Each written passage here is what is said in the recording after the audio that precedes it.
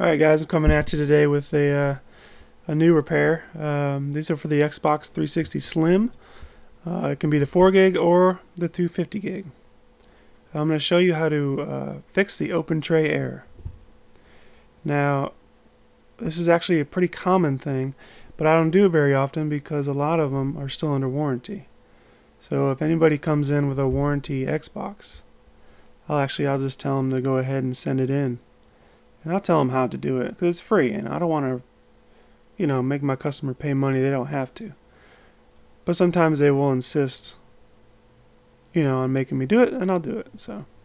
But what I'm doing here is uh, removing I removed the grill first and those just pop right out the little metal pick.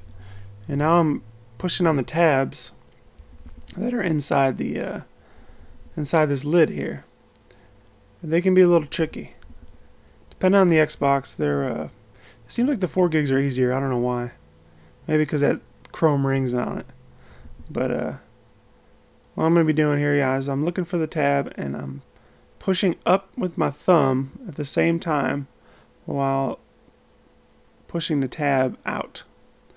Um, it's really good if you have really thin poke like I do, almost like an ice pick.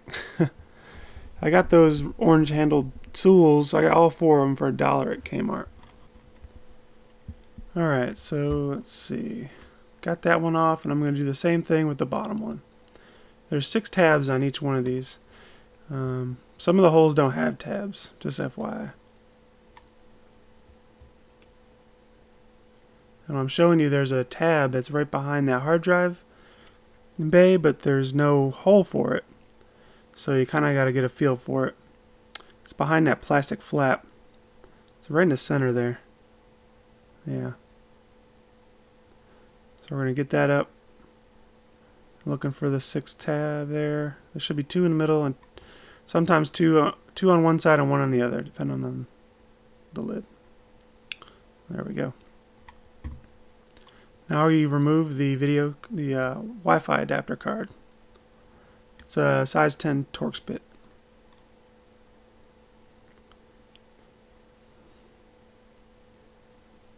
Okay, if you're looking for tabs now, uh, there should be two tabs there. And you're just going to push them out, just like on the old ones. Except you can't do it from the outside, you have to do it from the inside. And they're going to pull apart and then do the clips at the same time.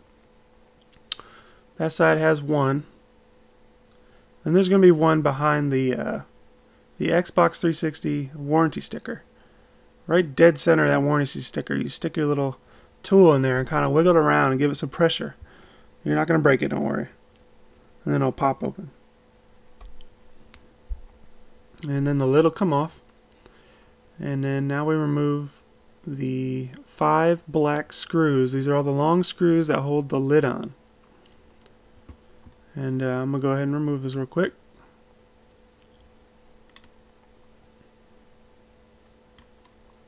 Cool, and then we got to remove the faceplate.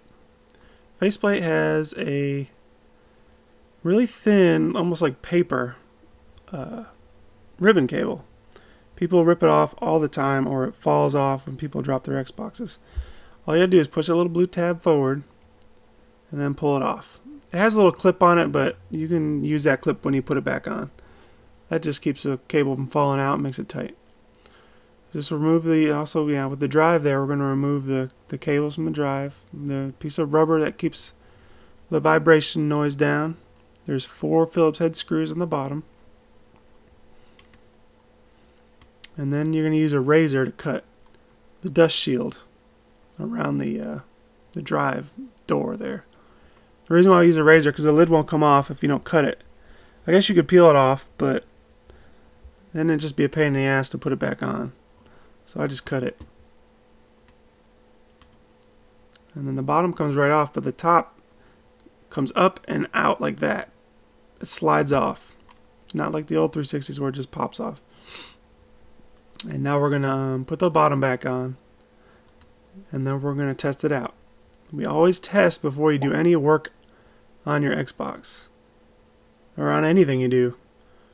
You want to make sure you confirm the problem before you do any work. That way you isolate variables, and variables are a huge deal when it comes to repairs. Um, I'm just showing you how to turn it on there. You just use a controller. You don't need the faceplate. It'll turn it on. Alright, so we confirmed the laser just spins and won't read. It looks like the laser worked though, but it's really weird.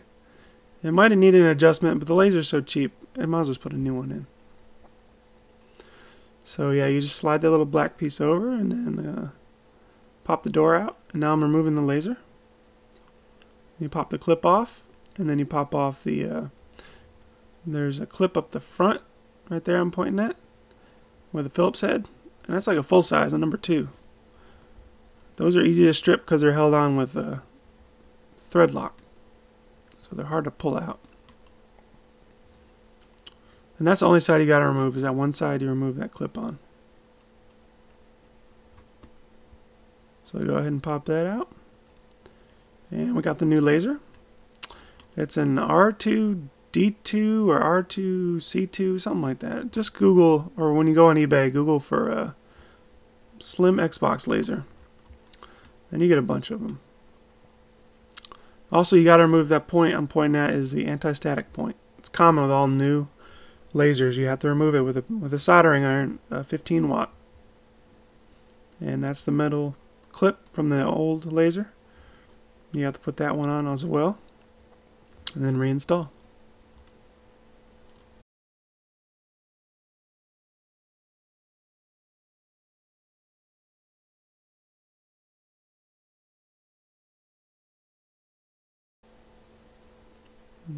Can be a little tricky sometimes, but take your time, guys. Take your time. Also here with that arm, the little nylon arm, make sure you back out the screw and then put it in before you pop it in. They're really easy to strip. Be gentle with it.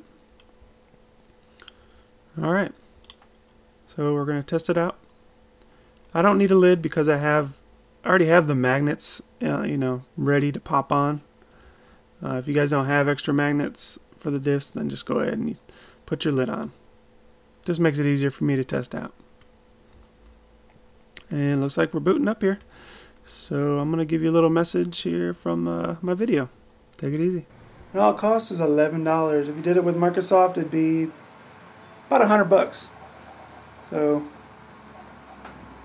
awesome. If you have any questions, give me a holla. Hey, one more thing, guys. Always retest your console, especially when you're doing something like this. Put it back together, test it, and you just put it, put the lid back on the on the tray on the uh, on the DVD drive and test it out. Screw it all back together. Put the case on. Don't put it all the way on. Don't screw it all in, and test it again. It's still good. You're all set.